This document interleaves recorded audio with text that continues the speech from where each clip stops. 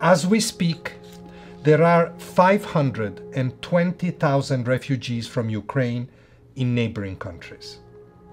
This figure has been rising exponentially, hour after hour, literally, since Thursday.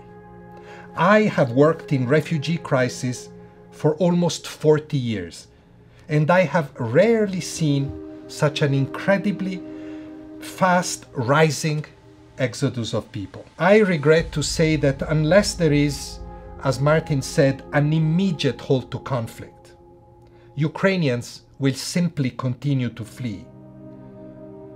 We're currently planning, I repeat, planning, for up to 4 million refugees in the coming days and weeks.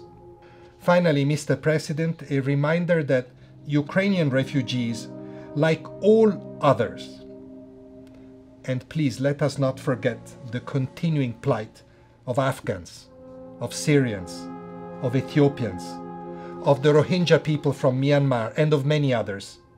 All of them never wanted to be refugees. They never wanted to be forced to flee their homes. And they all hope to return to their country as quickly as possible. The responsibility that you have to ensure that eventually peace and security for all prevail over power struggles and narrow national interest has never been as urgent and as indispensable a task as it is tonight. If you fail, if we fail, it might be too late for us all.